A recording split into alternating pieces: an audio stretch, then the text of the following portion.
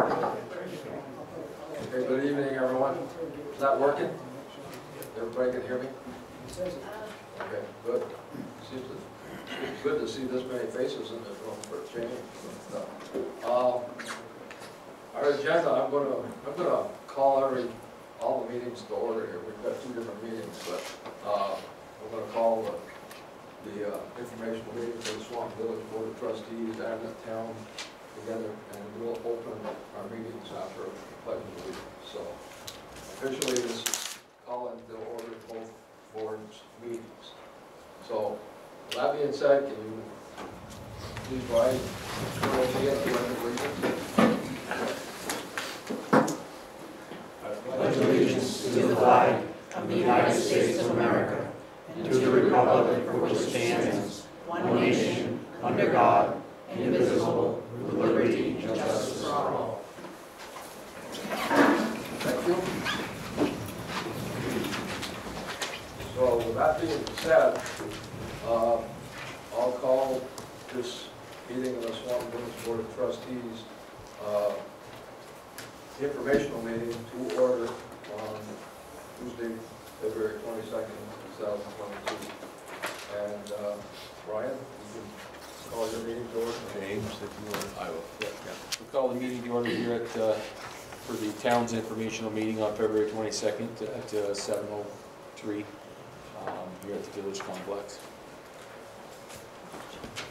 Okay, that being said, the next item on our agenda is the, I, somebody's gonna read the town warning, I assume. Yeah.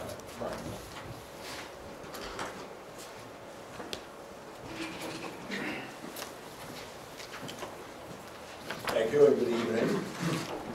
Uh, It's my pleasure to read the warning uh, as published in the town report and it's officially posted uh, in the town offices and in other places in the- around the town. So, Town of Swanton Annual Warning, Annual Meeting, Tuesday, March 1st, 2022. Legal voters of the town of Swanton, who are legal voters in town meeting, are hereby notified and warned to meet the Swanton Village Municipal Complex, and Elm Streets in Swanton, on Tuesday, March 1st, 2022, at 7 a.m. to vote the articles herein set forth. All articles to be voted by the Australian ballot system. The polls are open at 7 a.m., close at 7 p.m. Article 1, to elect from the voters of the said town the following officers. Moderator, for the town of a term of one year. One select person for a three-year term, one select person for a two-year term, one lister for a three-year term, one auditor for a three-year term, one trustee of public money for a three-year term, one trustee of public money for a two-year expired term, unexpired term, one library trustee for a five-year term, one library trustee for a one-year unexpired term, one cemetery commissioner for a five-year term, one collector of delinquent taxes. Article two, shall the town appropriate one million forty-four thousand three hundred three dollars seventy-five cents for the operation and maintenance of the town highway department. Article three, shall the town appropriate two hundred sixty-three thousand eight hundred seventy-five dollars for fire protection. Article four, shall the town appropriate one hundred fifty-seven thousand, two hundred thirty-nine dollars and ninety-four cents provide police protection to the residents of the town of Swanton. Shall, Article five, shall the town appropriate three hundred thirty-three thousand, nine hundred twenty-five dollars and ninety-two cents for the town general expense. Article six, shall the town appropriate one hundred ninety-four thousand, ninety-seven dollars toward the operation and maintenance budget of the Swanton Public Library. Article seven, shall the town appropriate an additional fifty-three thousand five hundred dollars toward the operating budget of the Swanton Public Library. Article eight, shall the town collect its real and personal property ta, property taxes and defray the expenses of the town for the fiscal year commencing January first, two thousand twenty-two, and annually thereafter, by its actual receipt of payment. Postmarks will not be accepted at the town offices by 5 p.m. on October 15, or if the 15th shall fall on a weekend or holiday, the following business day by 5 p.m. with an 8% penalty and 1% interest per month thereon for the first three months, and one and a half percent per month or portion thereof thereafter to be charged for the late payment of any installment. Shall the town of Swanton, Article nine, shall the town of Swan, town appropriate one hundred ninety-six thousand, six hundred twenty-eight dollars, provide rescue services to the residents of the town of Swanton. Article ten, shall the town appropriate one hundred twenty-three thousand, two hundred forty-seven dollars and twenty-four cents toward the operation and maintenance budget of the recreation department. The legal voters of the town of Swanton are further notified that an informational meeting will be held at Swan Village Complex, 121st Street, Swanton, Vermont, on Tuesday, February 22nd, 2022, at 7 PM in person and via Zoom for the purpose of explaining all budget items to the voters. Anyone desiring to participate and listen to the meeting by cell or landline should dial, the number is given, and enter the meeting ID number. When prompted and announced your name. To join the Zoom meeting online, your computer, click this link, and the link is given, and along with the passcode. Uh, Dated at Swanton, Vermont, this 19th day of January 2022, is signed James Gilmet Chair, Mark Rushwell Vice Chair, Edward White Senior, Nicole Draper, and Earl Fournier. It was dated and filed the 19th day of January 2022, attested to by Connie L. Fournier, Town Clerk. Thank you. Thank you.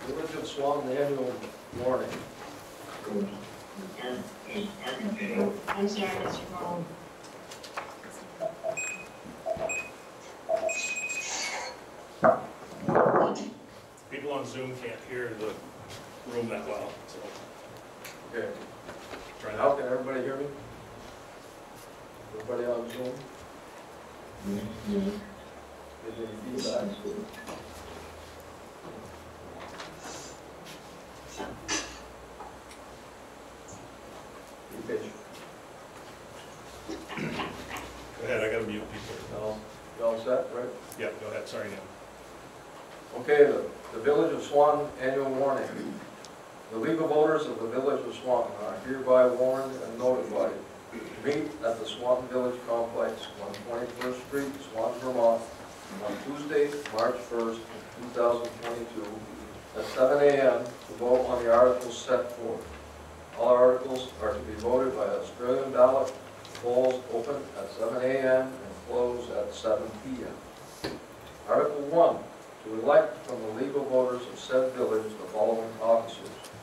President for a one-year term, trustee for a three-year term, clerk for a one-year term, and collector of delinquent taxes for a one-year term. Article 2, the voters of the village of Swanton appropriate $148,264 for the operation and maintenance of the general fund for 2022. Article number three, shall the voters of the village of Swanton appropriate $565,587 for the operation and maintenance of the highway department for 2022.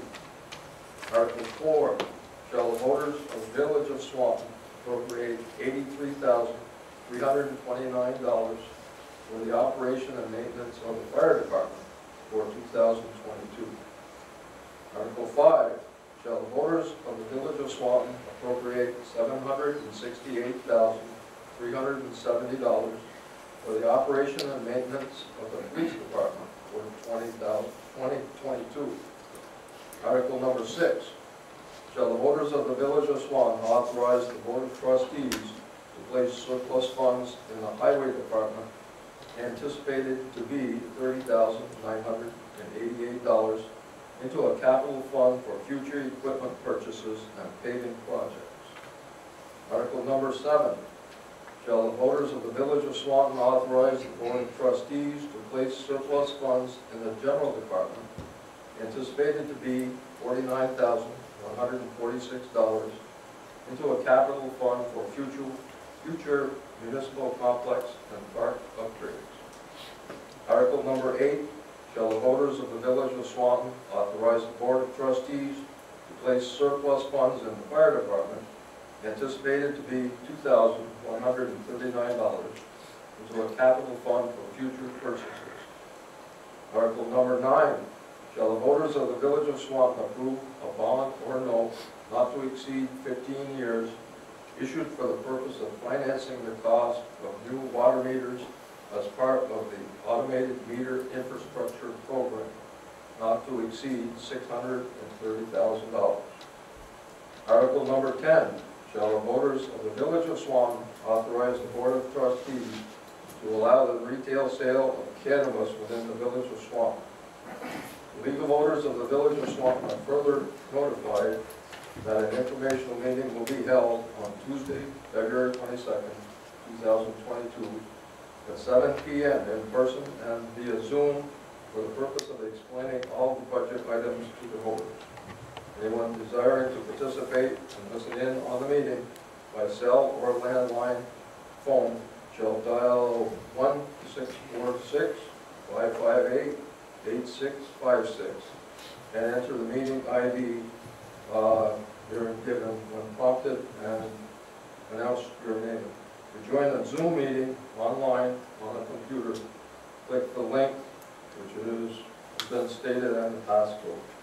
Um, Dated at Swanton, Vermont, this twenty-fourth day of January, two thousand twenty-two, signed by Neil Spear, Eugene LeBombard, trustee, uh, Chris Leach, trustee, and Adam Paxman, trustee. Received and filed this twenty-fourth day of January, two thousand twenty-two, signed by Diane Elsay, the village clerk.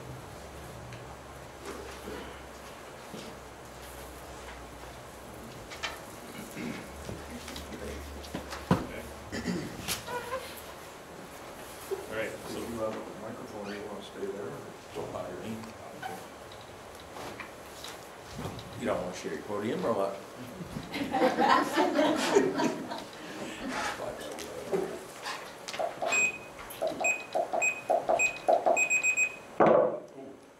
Sounds a little loud. try that, see how that feels for You all hear me? you. No, bring it closer, don't be afraid. You hear me now? There we go. Perfect. Good evening, go over the, uh, new information. Okay, Um, I'm gonna, uh, think, let me share the screen. So if anybody else tries to come in on Zoom, I'm not gonna know you're there, just so you know. Well, presentation. Yeah.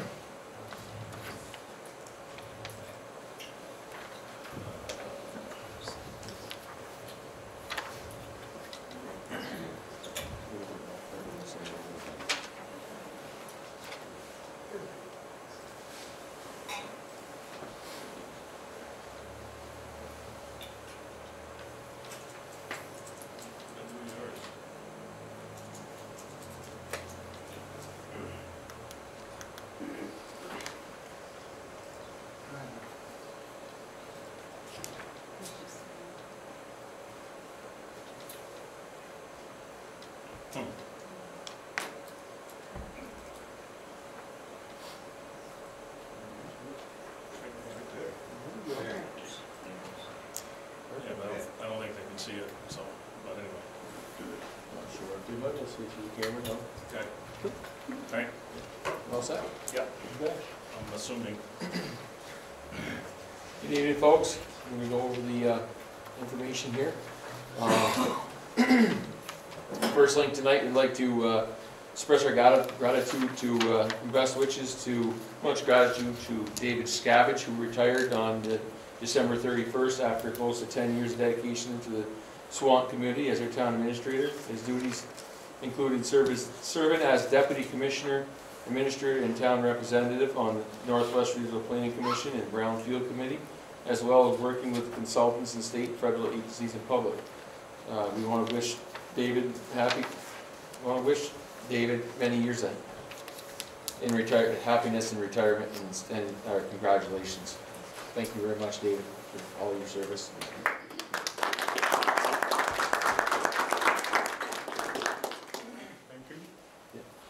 Um, After the 2021 annual meeting, the select board consists of Chair James Gilmet, Vice Chair Mark Rushlow, Nicole, Selectman Nicole Draper, Ed White, and after an absence for a uh, number of years, Earl Fournier rejoined the board. We are grateful and and dedicate, grateful for the dedicated service that Heather Biskowski has provided to the residents of Swanton and always look, looks out for the best interest Heather continues to serve as a member of the planning commission.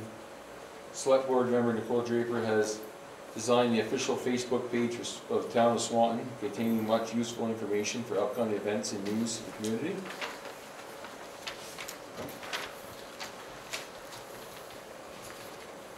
In early September, our town administrator, David Jescavage, announced his plan, uh, plan to retire at the end of the year. We'd like to thank, thank David again.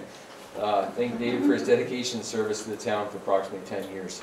The select board advertised the position, advertised for qualified candidates to fill the position on December 1st. Brian Savage was awarded the position of town administrator. And late this past year, the economic development coordinator Elizabeth Nance tendered her resignation and accepted a position with Franklin County Industrial Development Corporation. Through a memor- mem- memorandum of understanding with the FCIDC, Elizabeth will continue to work eight hours per week with the economic development activities both town and village of Swanton. In addition to the role as town administrator has been expanded to include economic development. We are looking forward to having both Elizabeth and Brian working on our economic development efforts.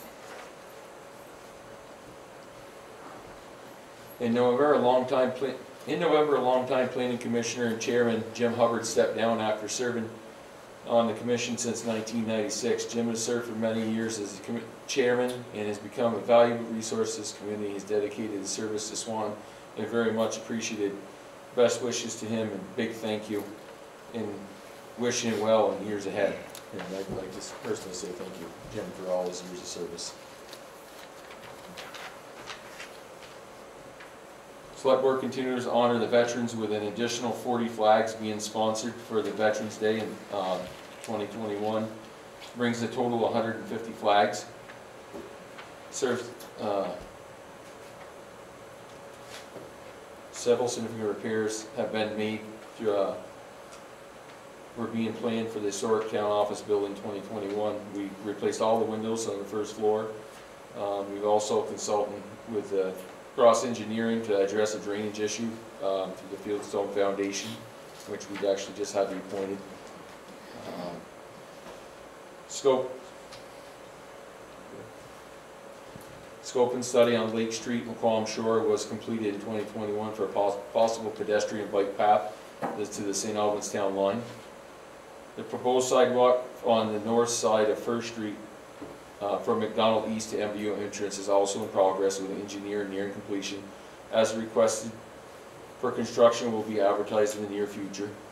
The following roads resurfaced, work done to them in 2021 was Lasnier Road, Sugar Maple Drive, Gothier Drive, Pinnell Road, Frontage Road, and Fair Street.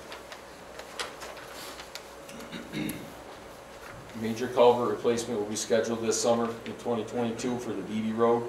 The town will be awarding the grant from the state. Town was, town was a, was awarded a grant from the state of Vermont uh, for $121,121 with a winning bid for the project awarded to Goodhue Excavation of Fairfield at a cost of $219,875. The difference of $98,754 uh, between the grant and the award and the bid price has been included in the line item for road improvement projects this year's highway budget.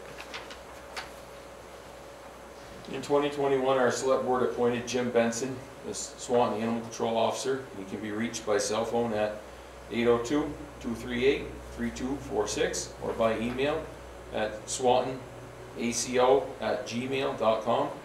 The ACO only deals with dog issues. The ACO does not accept dogs that are no longer wanted by their owners, cats or other animals, not handled by the ACO after the resignation of Leonard Stell. uh, Rosita Smith was appointed by the Vermont Department of Health as a recommendation from the select board as our new health officer. She can be reached at 802-370-0778 or 802-347-3227.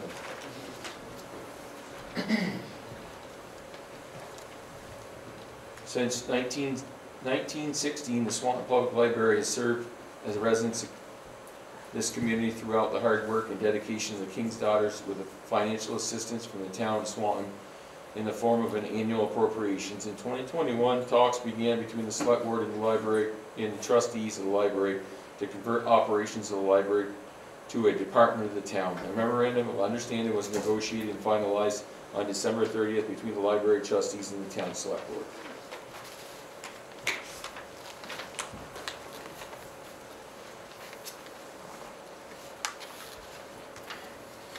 The majority of the operations of the library will be funded by the budget developed by the library and voted on at town meeting day. The employees of the library have become employees of the town effective January 1st, 2022. For 2022, the library is requesting $194,097 for the portion of their expenses that are on the, on the tax budget. In addition, the library trustees are requesting an additional $53,500 for the day-to-day operation spend, expenses such as utilities, cleaning, books, annual audit. Uh, The library provides many valuable services to residents of Swan. Projects for 2022, culvert replacement on Beaver Road is slated for late spring, early summer. Uh, Address a permanent solution to the Berry Road culvert replacement. Uh, Seek grant funding to complete the resurfacing of the Beebe Road after the culvert project is completed. Continue economic development efforts with, with a concentration on the Southern Gulch District in partners with the village, will continue work on the downtown revitalization.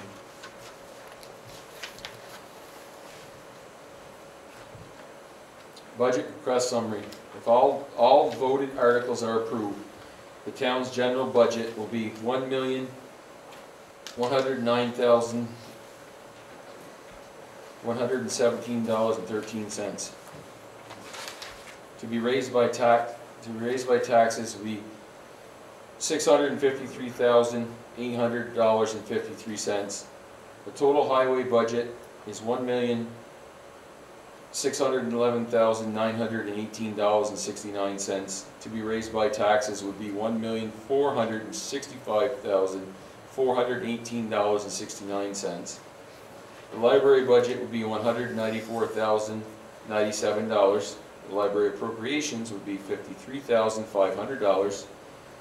account to be raised by taxes would be $247,597. The general budget, if all articles approved, would be $1,109,117.31. To be raised by taxes would be six hundred six hundred fifty-three thousand eight hundred fifty-three dollars.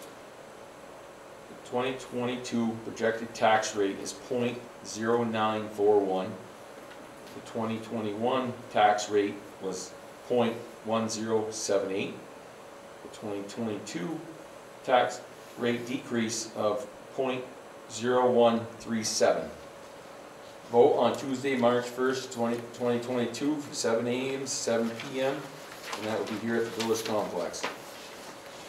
2022 highway budget, if all articles approved, one million six, one million six hundred thousand eleven dollars nine nine nine hundred eighteen sixty nine. To be raised by taxes would be one million four hundred sixty five thousand four hundred eighteen dollars and sixty nine cents. 2022 projected tax rate would be 0.2756. The 2021 tax rate is 0.2361. The twenty twenty-two tax rate increase of 0.0395. The library budget, if both articles are approved, would be two hundred and forty-seven thousand, five hundred and ninety-seven dollars. to be raised by taxes would be two hundred and forty-seven thousand, five hundred and ninety-seven dollars. The 22 2022 projected tax rate would be 0.0356. The twenty twenty-one tax rate was zero point zero two four zero. The twenty twenty-two tax rate increase would be 0.0116.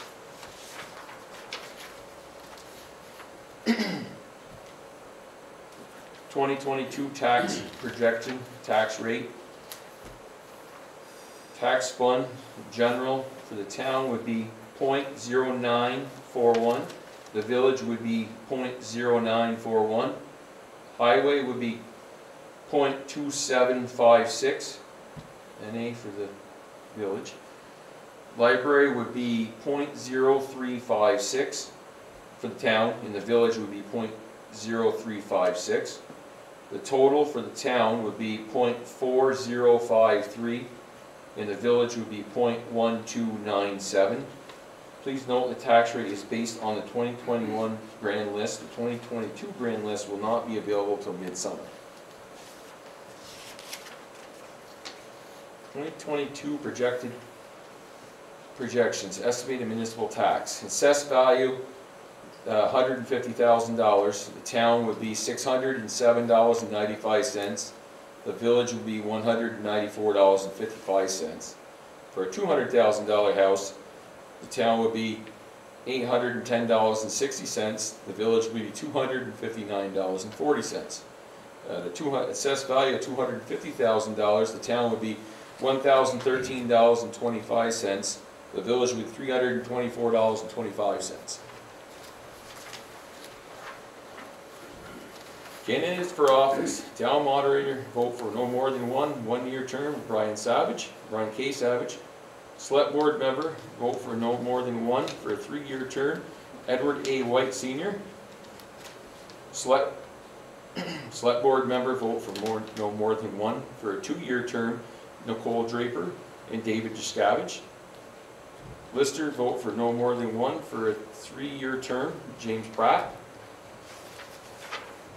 Candidates for office, auditor, vote for no more than one for a three-year term, Diane LaRock. Trustee of public money, vote for no more than one, three-year term, Brian K. Savage. And we have trustee of public money, two-year term is, is vacant. And trustee of money for a five-year term, no, excuse me, library trustee for five-year term is vacant. Candidates for office, library trustee, vote no more than one for a one-year unexpired term for Sarah Garvey. Uh, cemetery commissioner, vote for no more than one for a five-year term, Nicholas Barroso. Collector of delinquent- de- delinquent taxes, vote for no more than one for a one-year term, Betty L. Vote, March first, twenty twenty-two, seven AM to seven PM, or request an absentee ballot from the town clerk's office. And that is here at the, uh, village complex voting. Thank you all for attending and your support. Let me make that shorter.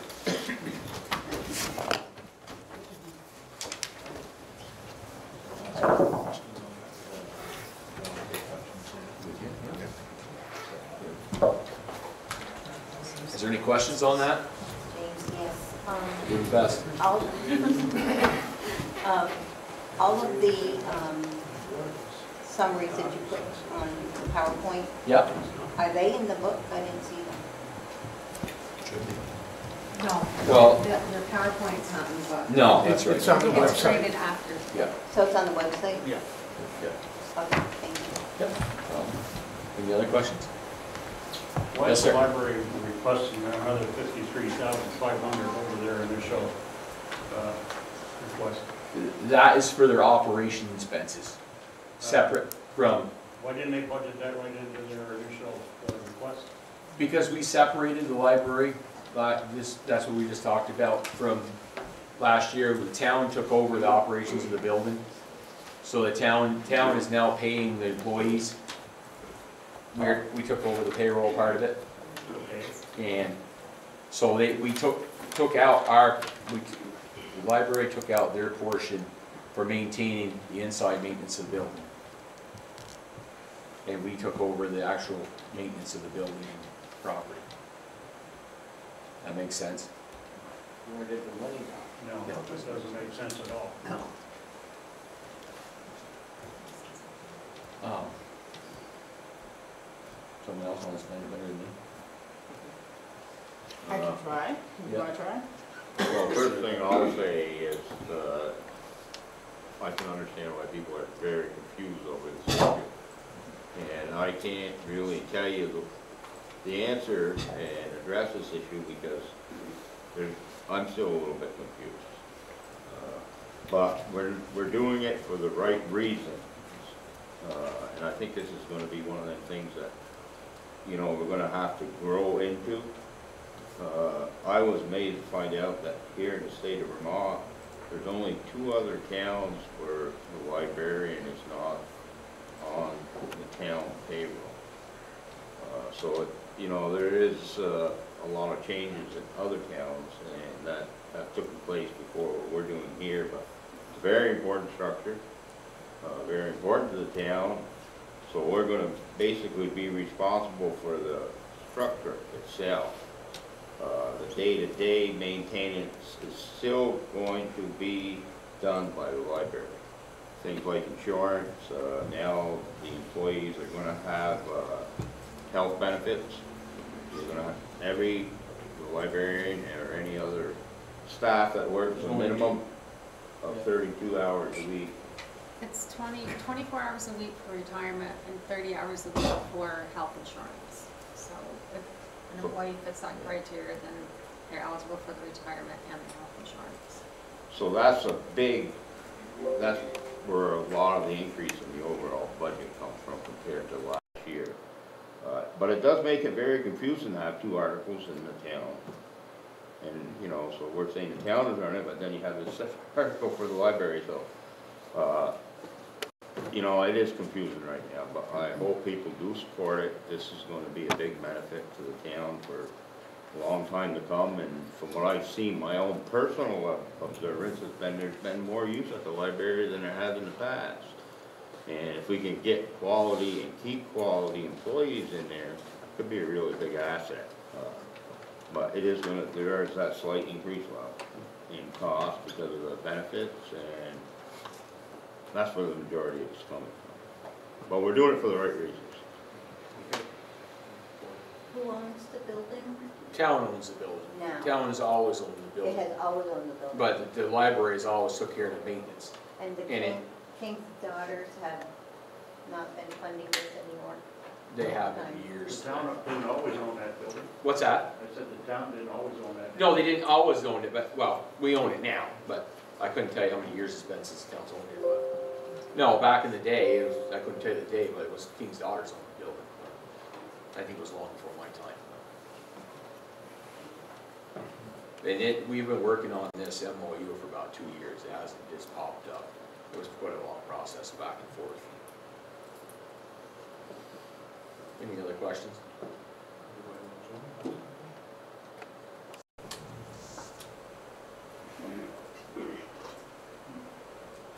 Uh, Technical dif- difficulties here. Done, shut 'em off.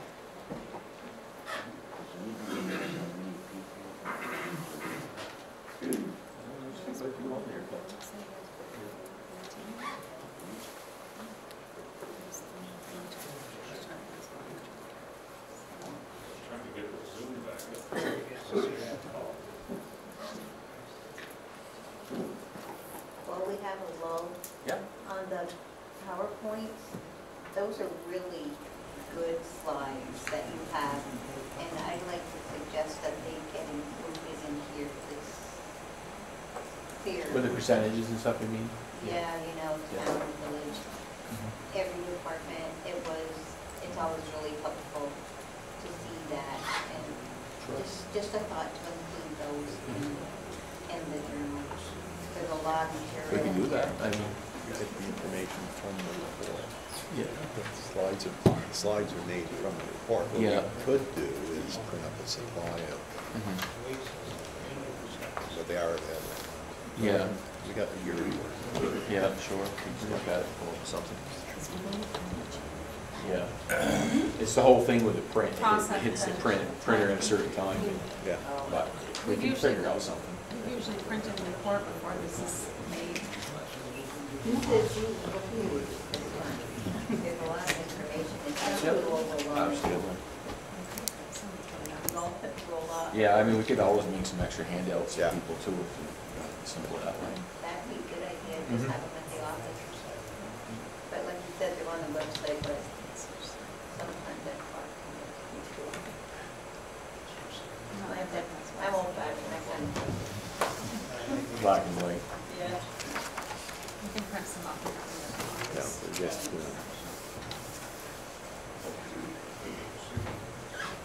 I got something on the screen. All right, did anybody in Zoom have a question, town?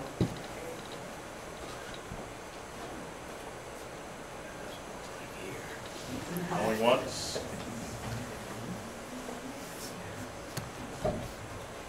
Going twice? So, to the lady in a second. Okay. Now, all I gotta do, figure out.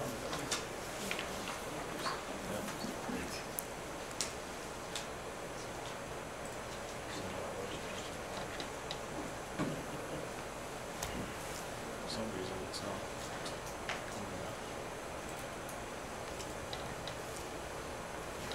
Share screen. Oops, there.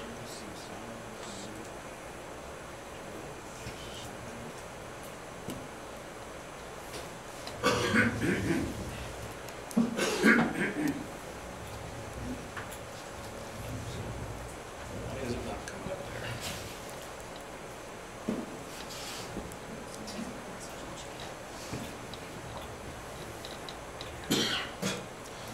So Rebecca Roop said, if anybody wants to revisit the library budget, which is confusing, Abby and I are uh, both here. So I guess meeting at the library. All right, I'm gonna try this again. I'm gonna stop sharing.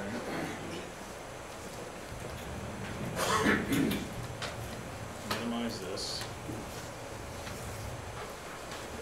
I don't know why the presentation isn't coming up. There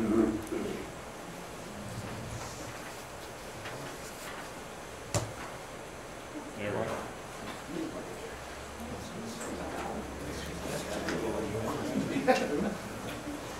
Hope you get mad.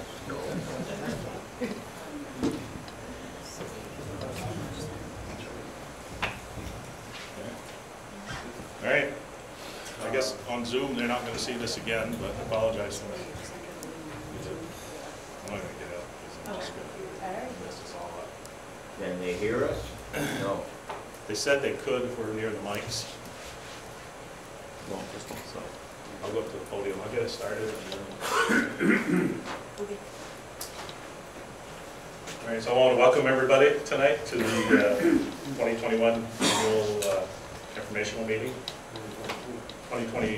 2021, 2022 for the 21 start. Okay, but anyway, uh, the- this year's cover was the uh, dedication of uh, the, used to be Flatiron Park to the Veterans Memorial Park. We want to thank all the military members and their families, uh, past and present. And you watch now, this isn't going to work.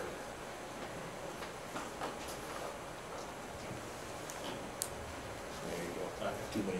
Yeah, there we go. Let's go through the numbers.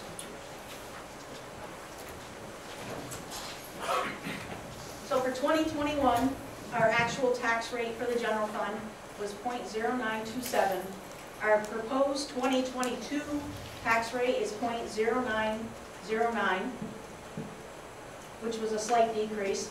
For the fire department, uh, the 2021 tax rate was .0496, and the 2022 proposed tax rate is .0511. For the police department, the actual tax rate was .4210, with a proposed 22 tax rate of .4709. And the highway department's 2021 tax rate was .1372, with a proposed 22 tax rate of .3466. So for our grand total, uh, the 2021 tax rate that we billed was .8805, and the proposed 2022 tax rate, based on the 2021 grand list, um, it'll be trued up when we get the actual 22 grand list this summer, was .9595, with a change of .0790. So for a $150,000 house in the village, uh, their village residents actually paid for 2021, $1,320.75. For the, if everything passes with the 2022 proposed budgets, they would pay $1,439.25 with an increase of $118.50. For a $200,000 valued house, the, they actually paid in '21, $1,761. Uh, For 2022, the proposed tax bill is $1,919 with an increase of $158. For a $250,000 house, uh, the 2021 actual was $2,201.25. The 2022 proposed is $2,398.75 for an annual increase of $197.50. So breaking that down by department, for a $150,000 house in the general fund, you're going to pay $136.35. For fire protection, you're going to pay $76.65. For police coverage, you're going to pay $706.35. And for highway, you're going to spend, you're going to pay $519.90 for the $1,326.45 for a $200,000 house, in the general fund, you're going to pay $181.80. For fire protection, you're going to pay $102.20. For police protection, you're going to pay $941.80. And for highway, you're going to pay $693.20 for a total of $1,768.60. For a $250,000 house, the general fund taxes are $227.25.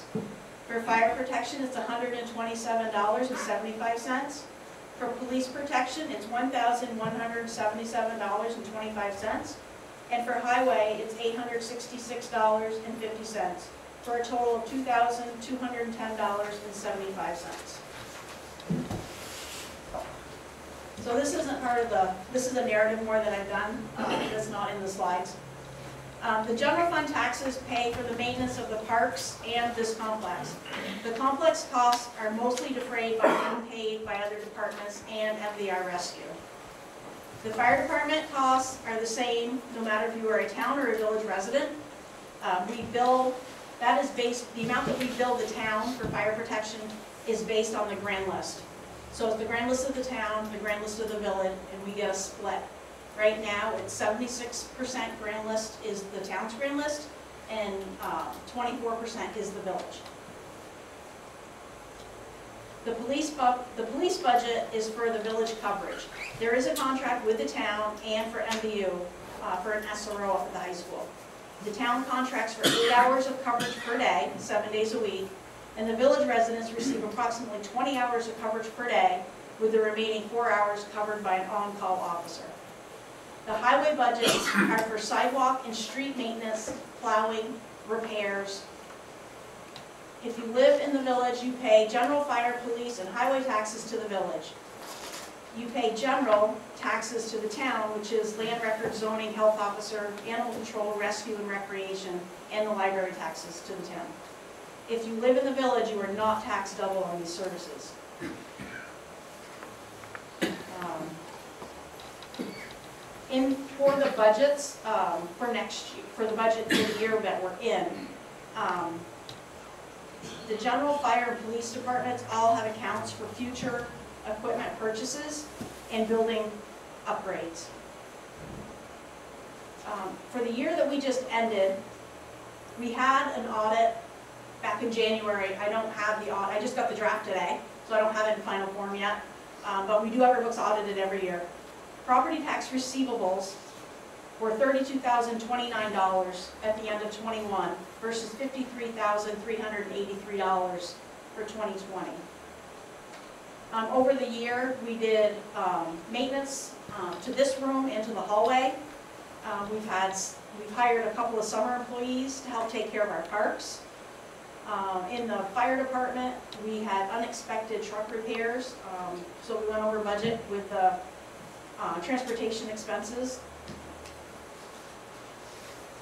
And we had, uh, in the highway department, we had unexpected repairs to one of the plow trucks.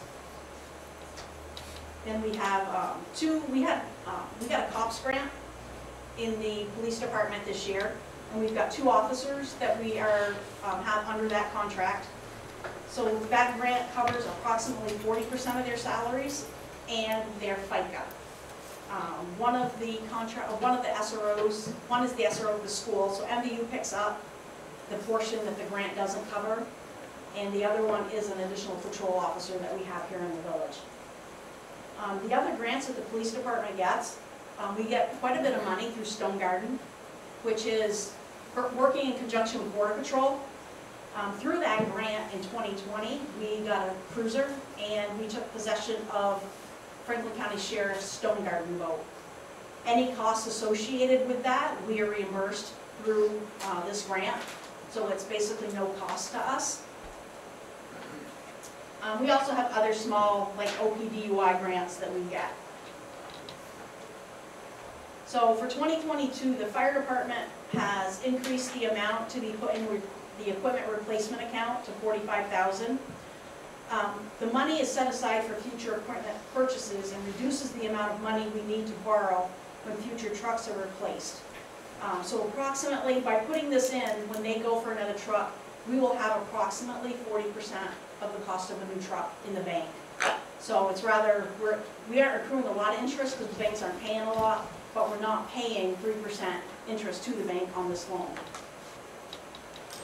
Uh, Increases in the budgets in the police department resulted from additional officer through the cops grant and wage adjustments. I'm sure many of you have heard, every law enforcement agency in the state is scrambling for help right now. And Matt can probably explain more on that, um, but we had to do some wage adjustments to retain officers. Um, We have lost, we lost a couple officers right end of the year, beginning of the year, um, that moved on to other op- opportunities. Um, We will be doing some work on the bridge that covers, that goes over the river. We do have a grant that is a ninety percent grant. Uh, The ten percent that comes out of our pocket, which is a match of seventeen thousand five hundred, is in the twenty twenty-two budget. Um, We also have our enterprise funds, water, sewer, and electric departments. Um, Those enterprise funds operate as if it was a business, and those are, the costs are paid by user fees. One thing that we had, through this pandemic, there have been a couple of programs. Um, The latest ones were the VRAP program and the VCAP 2 program, which were helping people pay their um, utility bills. And um, we received a fair amount of money through those programs. They weren't easy to navigate. They take a lot of time. Um, The V, the VRAP program is still going, and um, it takes Katie a lot of time over the course of a month um, to upload customer bills. Um, But we've seen our receivables have gone down um, from throughout the year because people are taking advantage of these programs um, to get their bills caught up. Um, We had a drought uh, this summer, and because of that, uh, our generation was quite low compared to other years. In 2019, we generated 91% of the power that our electric department needed. In 2020, we generated 74%, and in 2021, due to the drought, we only generated 45% of the electricity that we needed. So because of that, our purchase power did go over budget. Uh, The other thing we're seeing is long lead times on inventory items like wires, transformers, streetlights. Um, The water and sewer departments, we also took advantage of those VRAP and VCAP programs with our customers. And that is it. I think the rest of it Reggie will touch on. Do you have any questions for them on those numbers?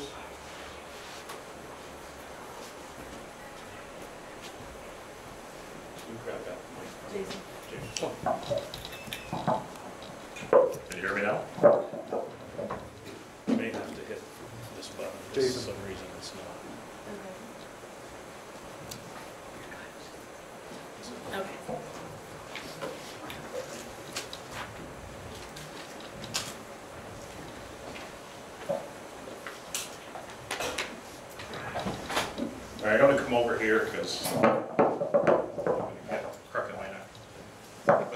2021 in review. Uh, So this year, the wastewater plant, we continue to work on the the treatment of the TMDLs, the phosphorus rules for the state of Vermont. Um, So uh, we had a, uh, there was four vendors that came in that would filter our effluent coming out of the plant, going into the lake or the river.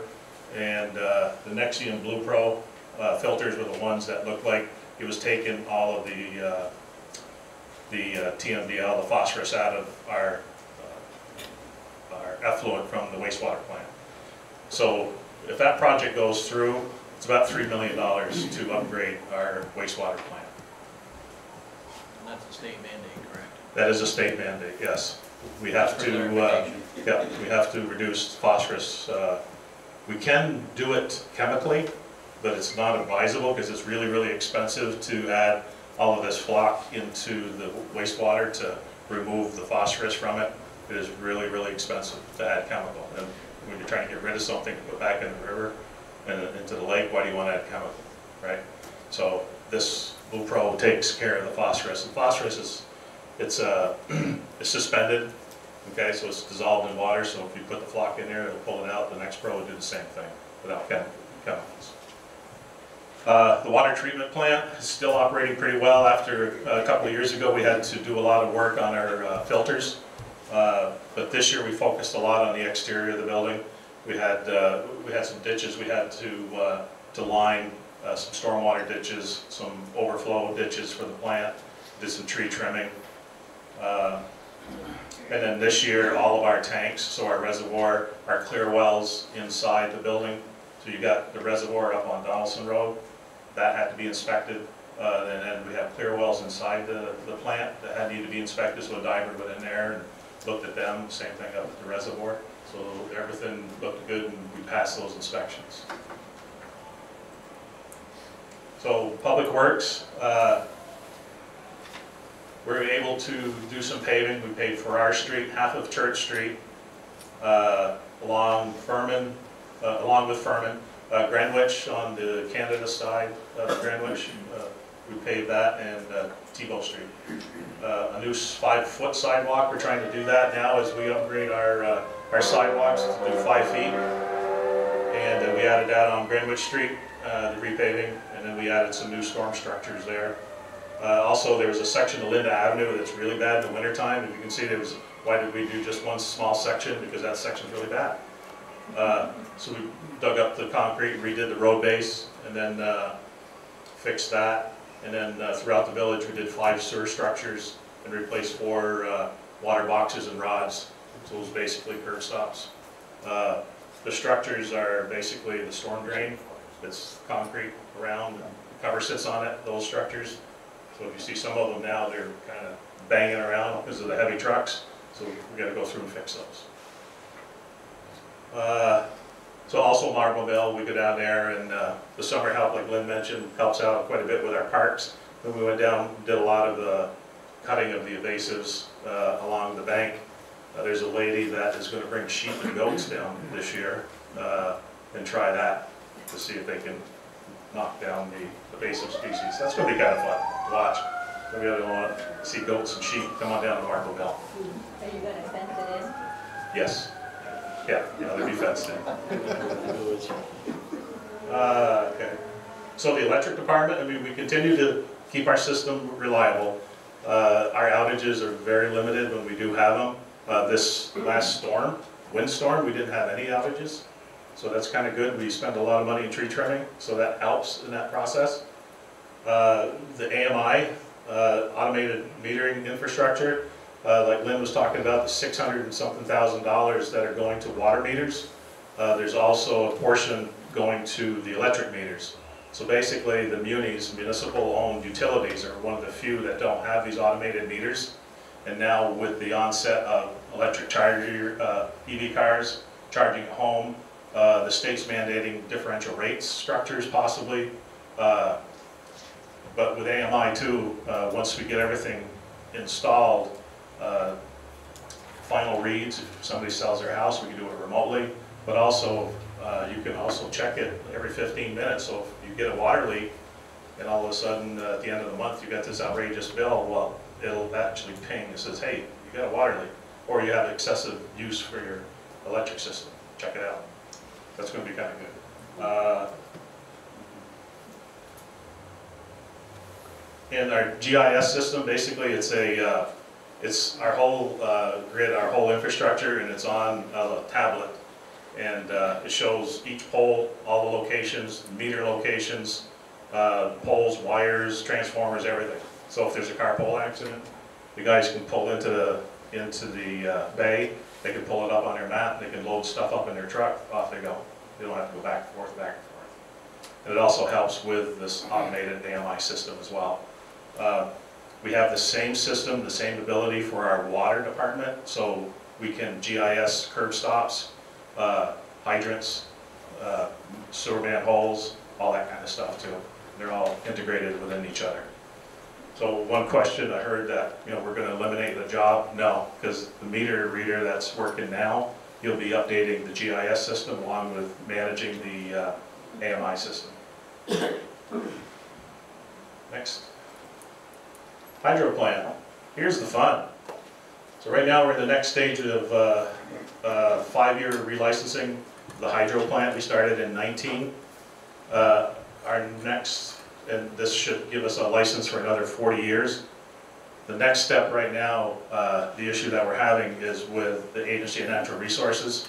Uh, We have to go through our, it's a PME, it's uh, Planning, Mitigation, and Enhancement, I believe it is. I got it over there. But anyway, they want to see continuous flow going over the bladder and for aesthetics. And that's megawatts of lost generation uh, per day. So in turn, what that would cause us is that we may have to go out by other means of, like Lynn was saying, you know, when you have a dry summer, we have to go out and buy other generation some other place. Uh, We would probably most likely have to go out and buy even more generation from other uh, avenues. We don't know if they'll be, you know, it could be uh, fuel truck, or fuel uh, generators, we don't know. They may not all be 100% renewable, because right now, we are 100% renewable.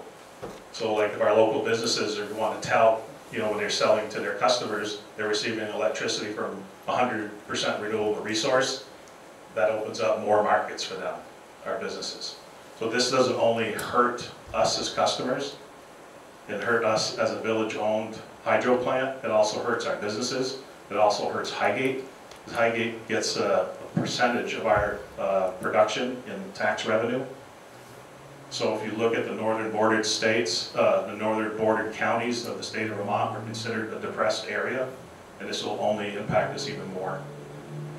Uh, So there's going to be some discussion on this. Uh, We plan on having a public meeting with the agency here as well, so we'll make that public. So the more people that come in and support hydro uh, would be the best for us. Uh, I mean, I can argue that in, since 1894, we've had some form of a dam there. We started generating electricity, Brian, you probably, your brain cell's better than mine. When did we start generating electricity there? It was in the 30s, right? For that, or Earlier than that? Early twenties. Yeah, Was it? one generator's in nineteen twenty. Right, okay. So we have not, so over all of our years of generating electricity, we have not caused extinction uh, or any, uh, any harm to the environment or aquatic life in all of this, these uh, years, all of these years. But now during this uh, renewal, we have to go through and argue that we are good stewards of the river, we are good stewards of the lake. But I can honestly tell you, this is Reg's opinion, that their mission is to get rid of the Lower Swanton Dam, and that's their goal. So they're trying to have us go outside of our FERC uh, boundaries and go from Lower Swan all the way to Lake Champlain. They want to see how our project is affecting 10 miles plus, maybe 15 miles, because it's seven miles from the dam to the Lower Swan. So it's quite a ways. And it's ridiculous studies, but that's my opinion and the trustees' opinion. Uh, Plant shutdown, this is, so basically, we usually do it in August when it's warmer, but because if we do have a, if we do on the outside chance have a good rainstorm, uh, if we shut down later in the fall, usually August is one of the hotter months, and that could affect our transmission charges, so we try to keep it up during that time period. So if we are generating something anyway, it helps with that. And then replacement of compressor too, uh, back in March, and I believe that's for the uh, bladder. Uh, the maintenance department, so the maintenance department has, uh, quite a bit of assets that they manage. So the- this complex, they manage the uh, water plant, sewer plant, the pump stations, uh, fire department area. So all of this, uh, all of our assets are on what they call e-maintenance. So the guys will get like daily PMs, quarterly, uh, bi-monthly, uh, like I said, quarterly, annual, whatever. So it just reminds you, you know, that when you have so many assets to go visit them, it's an automatic reminder. I, I get a reminder, get birthday cake each month. Uh, So the front office, uh, Lynn touched on this, but the front office is really busy maneuvering the COVID relief funding uh, to help customers pay their bills. Uh, They handle a lot of federal, state monies also for highway, water, and sewer, and police department. Uh, Our uh, grants are run through there, village grants are run through there. The independent audit that Lynn talked about, uh, it's from uh, KBS in St. Albans. It's quite an extensive audit. Uh, They go through, I mean, fine tooth comb. They give us a a myriad of questions that we have to ask. And basically, they're auditing our books to make sure the books are accurate, but they're also checking for uh, embezzlement and that kind of stuff. So how much did it cost us this year for It's twenty-six thousand dollars. twenty-six thousand dollars for our audit? So the books are quite extensive. And they stay here a week. Uh, And the accounting staff uh, in the village, uh, village-wise, about eleven million, seven hundred thousand dollars that they they manage up front. Uh, The village complex, I want to keep this on the radar. We didn't put this on the, uh, on the uh, warnings this year, but this building, since 1972, I think it was built, uh, other than 78, thank you. Um, Other than what you can see is paint that we've done in here and in the hallway to spruce it up. When I first got here in 2011, we did the siding outside. It's still, it need, we need expansion. Uh, We used to have a boardroom, now all of our meetings are held in here. Uh, We do have, uh, we do have plans for an expansion, but we're hoping to try to get some grants first before we go to the voters to help with it. But the police department are working out of a thimble. And with COVID and just cold and flu season in general, we need room for everybody to, uh, to be able to work. So, uh, that's in the plan, so I just wanted to keep this on the radar. And emergency services, police departments, it's a pleasure for me to introduce uh, Matthew Sullivan as our uh, new police chief, started uh, January 3rd, I think it was. And uh, after Chief Joey Stell had retired on January 31st, Matt Sullivan started. So uh, welcome Matt to uh, Swanton and looking forward to uh, many years with you. Thank you. So if anybody wants to abuse him, now's the time. You want to ask him questions. Next. And yeah, so we had retirement, James Hall retired, uh, Chief Leonard Stell, Kevin Cleary, uh, resource officer retired, and he hates a camera, so he didn't get a picture. And uh, he's still working part-time up at uh, MVU as a resource officer. He's a great guy, does a lot of uh, wonderful stuff for the kids, uh, a great uh, uh, mentor for them. Next. So this year, candidates for village president, one-year term, Neil Spear. Village clerk for one-year term, Diane Day. Village trustee for three-year term, Eugene LaBombard. And Collector of Delinquent Taxes, a one-year term, Betty Cheney. So, that's all I have for tonight, for tonight. If you have any questions, let me know. Now, I don't know, James, if you, you had, uh, uh, uh, two people, candidates for one position, I don't know if you folks want to say anything, I'll give you an opportunity if Yeah, you want. any of them can. Yep. Okay, so Nicole and David, if you guys want to say anything, so I'll let, I'll turn this over to you guys.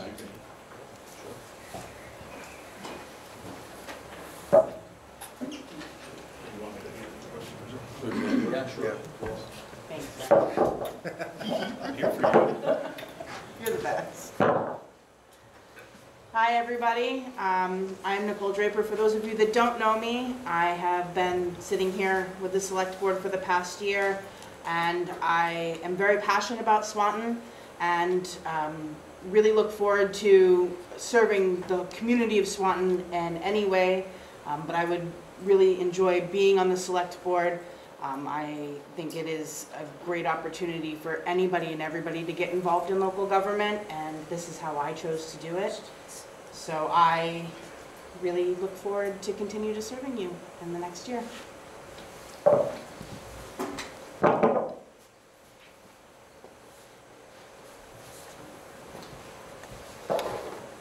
everyone. Um, David Jescavage, as was mentioned before, I'm the uh, recently retired uh, town administrator for Swanton. And I love Swanton, and I I want to keep, continue to keep uh, serving it in some way. And that's why I'm running this year. I have uh, uh, nine years and nine months working for Swanton as a town administrator. Uh, Prior to that, I worked in uh, a neighboring town, Highgate, for four years as their town administrator. And I have um, over 30 years of experience working for different municipalities in both Vermont and New Hampshire.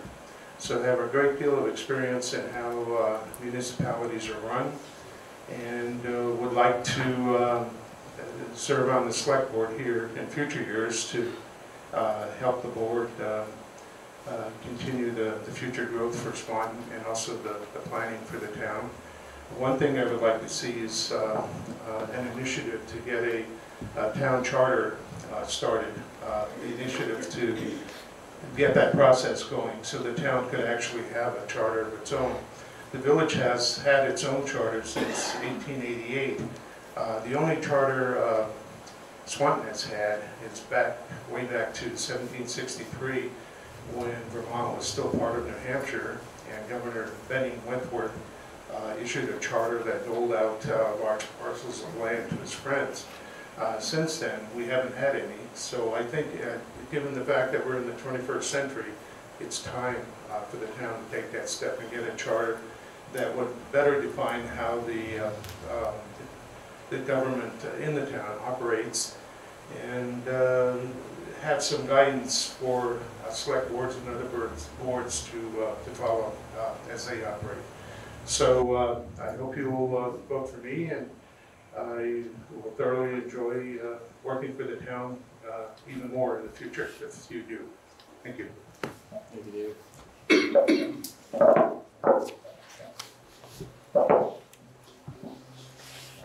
Any of the trustees want to say anything, I guess, for coming up for, no? Gene? Everybody on the spot, I'm gonna get in trouble tomorrow.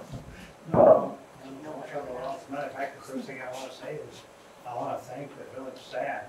It's been difficult the past couple of years, and we try to keep an eye on everything and try to keep everybody safe and sound. And uh, I'm afraid we had loss own family COVID. However, uh, a couple of things in the future really demand our attention. And in my mathematical scientific background, I tend to be technical. However, we've got ARPA funds that we must deal with. They're going to have to be spent in the next few years. Uh, some of the projects that are pet projects to me is the bridge repair, and that's going to be a nuisance to some of us this coming summer. Um, We're trying not to do it at the same time that the town replaces a culvert on the Beebe Road. So we're working with them to care that. Um, Another thing that I've been in favor of since, well, it back eight, nine years when we had a repair of the water line that crosses the bridge. When I saw the repair of that, I watched it from the other side of the river as they were doing it, and I know there is a certain limit to the life of that line. So we're working with an engineering firm to have a new water line or an additional water line put underneath the river. So that's another project that I'm very much in favor. Um, And one of the items that I don't think anybody really mentioned too much here tonight, but our budgets, um, one of the things that you all see out there is the cost of living index and how it's continuing to rise. So we've set up our budgets to provide the services that you all expect. I hope it stays that way. The cost of fuel is an example, I don't have to tell you at all. And we use a lot of fuel. So that's where we are as a group. And I again, I want to thank the village for the really, really tremendous staff that we have. And of course, we welcome on the police chief and any other new employees that he brings in with him. I think he's gonna bring in a couple, I hope. At any rate, thank you all for your support.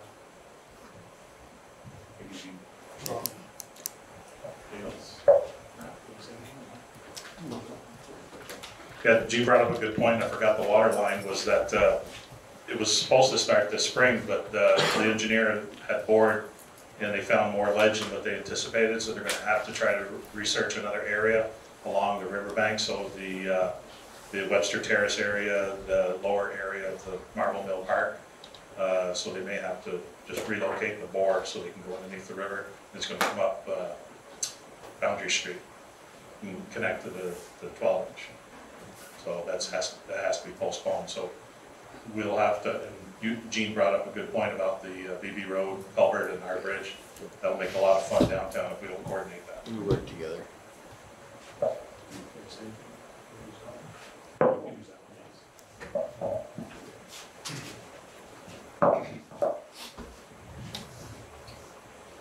I'm running for village president, my Neil Spear, just in case you hadn't, known that. And I, I wanna, I wanna bring up what Gene brought up too. I've been around for a few years here, and uh, I wanna thank the Swanton Village team and the town select board. Uh, I think we work great as a community. Uh, we've had some hurdles in the last few years that we've handled pretty well. Uh, it's a, it's an honor to- serve the people of Swanton, the Swanton community, village and the town. And, uh, I hope to continue on. There's a lot of opportunities out there that are coming down the pike uh, that'll be good for whole Franklin County and especially the town and the village of Swanton. Uh, Highgate, St. Albans town, uh, there's a lot of opportunities coming. We still need some, some, uh, downtown improvements, as you all tell. Uh, And uh, I I originally came on this board uh, because I was concerned about our community, the downtown especially, and I live in the village. Uh, The grocery store had been sold and it was empty, and uh, we've come a long way since that day. And I think we can go farther, and with your help, when you vote uh, next week, uh, I'm sure it will handle it well. Um, one other thing I'd like to say that nobody mentioned or we didn't come through on our, our Zoom, uh, our Article ten, I want to clarify that as kind of an unusual item to be put on a, a small town, uh, agenda. That's the, uh, the legalization of the retail sale of cannabis. Uh, in our talks with St. Albans Town and some other smaller communities, uh, they, they were trying to take the initiative uh, to see how the voters felt about the retail sale of cannabis in their communities. So we agreed to put it on our ballot so it's not gonna be legal till, uh, legal sales till October, but, uh, this way we'll be able to tell if there, if the opportunity comes up, uh, we'll know whether the Swanton community wants to get involved. So, uh, other than that, if if there's no more questions on, in the field, or do you have any questions, Suzanne? Yes? You know, I have a question. Um, I just, because everyone's in the room, is this an opportunity that someone could bring us up to date on what's happening, having, what's going on with the hotel? The roof, The Riviera Hotel, yeah, the hot spot on South River Street. this is true. This is it. Um, We, we That's haven't a- heard anything for a long time. That's a source of frustration for me, and I'm sure if you were on the Swanton discussion group, there's done a lot of talk about that. But, uh, the reality is, um, the village purchased that to get rid of a blighted area in the community, and it was, it was, it was started with the intention of having funding come through for the cleanup and the removal of the structure. Uh, The, uh, the promised assistance that the uh, village has gotten has been slow coming. Uh, We have to address the brownfields issues that are involved in that piece of property before we can tear it down.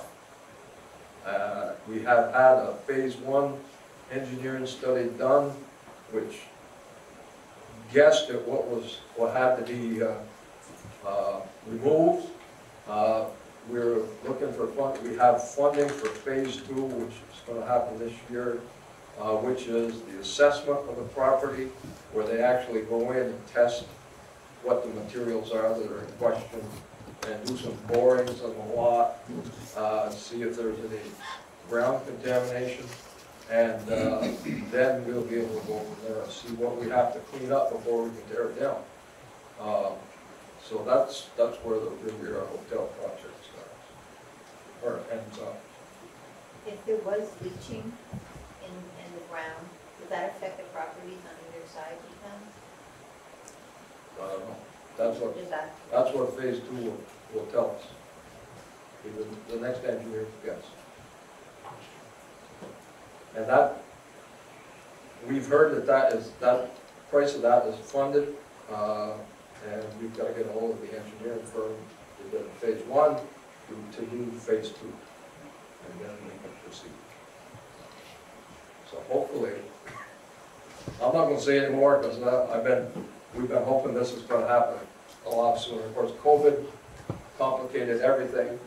The, the state staff that we had to, to deal with was out of the office, and, uh, so we're hoping we can start to clean up. And we have, we have, as you can see, we have cleaned up the outside that is not gonna be in danger of con- contamination. We've taken the trees out, trying to straighten it out a little bit, so you can see the beautiful buildings there. So, so- pardon the sarcasm. that's a village question I have, and then on the town side, um, the expansion of the airport, what, how, how is that progressing? Uh. Well, That's that's, really more. vague. that's, well, it's actually uh, more of a Highgate. But we're involved somehow. Well, the village is going to, the water and sewer lines will be extended from roughly MVU to the airport. And I'm not sure where that is right now, that, We did hear from Pike this last week. Uh, They're moving ahead, and needed, uh, I think Jeff Reg can fill you in on that, but Pike needed a, a letter of support from the village. Uh, You know, seeing it as such that we supported the project and it was great for the whole, the whole county. Uh, But, uh, so things are, things are moving on that. development. Okay, can just, I can add some color to that, but, so, basically, uh, we're uh, gonna, we have to sign a letter, of uh, memor- memorandum of understanding. So basically, it says, what are we gonna offer Highgate? Uh, So, it's not gonna affect our ratepayers at all within the village uh, for water and sewer. Uh, That, uh, all the bonds and uh, grants that they're getting is gonna cover all the costs. We have plenty of capacity for water, we have plenty of capacity for sewer. Uh, What we're gonna do is do a T and M, time and maintenance. So we will bill them to go check out their pump stations, winterize their hydrants. And if they have any issues with any infrastructure, we'll go and help them out on the time and materials kind of thing. So we'll build them that way. There will be a charge for water and sewer. Uh, That's what we need to discuss as uh, water commissioners on what that charge should look like to Highgate. Because obviously they have to recoup whatever they bond for. So we'll sell them the water, but they're gonna sell water also to their customers. So we'll have to figure out what that looks like too. Uh, But, uh, I mean, one of the trustees basically, was, uh, that was a, a big economic boost for this area. When the study was done, uh, we had them uh, do a study also in the surrounding areas in Swanton as well, because it's so close. So whatever growth happens there, it will bleed over into Swanton anyway. So this is one of the major, uh, one of the major projects happening in Franklin County, I'd say. That's It's a once in a lifetime opportunity. I understand that. Thanks for updating everyone who's listening.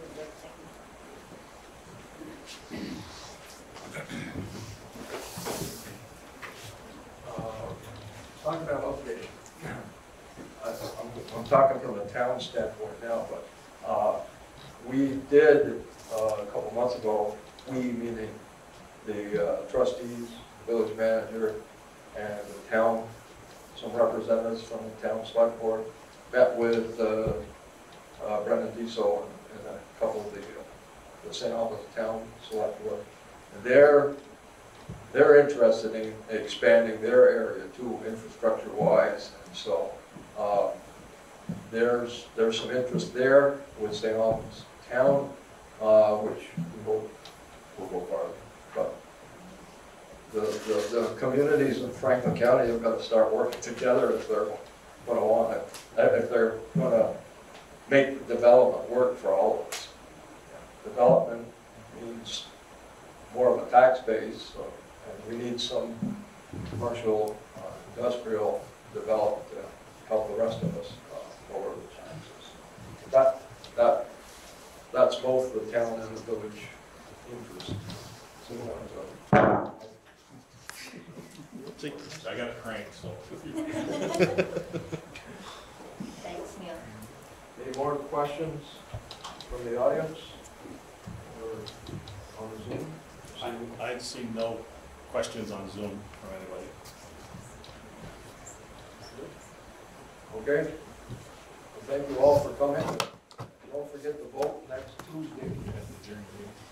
And, uh, yeah, yeah. So I, in my capacity as village president, I'll entertain a motion to adjourn this informational meeting of the Swanton Village Board of Trustees. So moved. I have a motion and a second to adjourn this meeting. Uh, all those in favor of the motion, signify by saying aye. Aye. Opposed, motion carried unanimously. Thank you again. Turn it over to Brian and uh, James. I'll entertain a motion to adjourn our portion of the informational meeting. I move. Second? Second. All right, all in favor, signify by saying aye. Aye. Opposed, ayes have it. Now adjourned.